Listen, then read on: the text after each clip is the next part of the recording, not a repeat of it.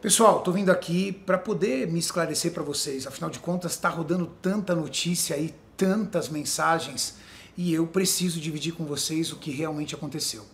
Bom, pela manhã eu fui surpreendido com o cumprimento de mandado de busca e apreensão da polícia na minha casa, aonde eu fui informado que não só a minha empresa, mas várias empresas estão sendo investigadas num processo que eu não sei, porque ele corre em processo de justiça.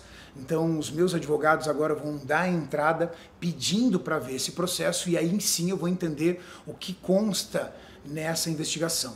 Eu sofri busca e apreensão porque eu sou um dos sócios. Então, todos os sócios sofreram busca e apreensão essa empresa, que é uma dessas empresas que eu sou sócio, que é a empresa que está sofrendo a investigação, ela foi fundada, pessoal, em 1981.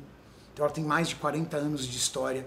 Ela é uma empresa linda, aonde a minha sócia, com 71 anos de idade, ainda é a grande administradora, a grande gestora da empresa, é quem conduz a empresa, uma empresa sede própria, que tem todas as licenças, todas as certificações nacionais e internacionais uma empresa que trabalha totalmente regulada.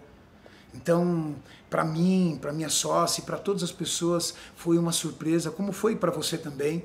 Mas eu também quero agradecer do fundo do coração o carinho e a mensagem de cada um de vocês de você que conhece a minha história, que sabe quanto eu trabalho, que eu divido todo dia aqui no meu Instagram, nos meus podcasts, como eu fui construindo cada uma das empresas, como eu trabalho todo dia. Então, muito obrigado pela mensagem de cada um de vocês, por cada mensagem, por todas as postagens. Obrigado de verdade. E logo que eu tiver acesso a esse processo, eu divido com vocês o que realmente foi, porque eu não tenho acesso por enquanto, tá bom? Mas eu tinha que dividir aqui com vocês o que foi. Valeu, um beijo e obrigado aí por todas as mensagens.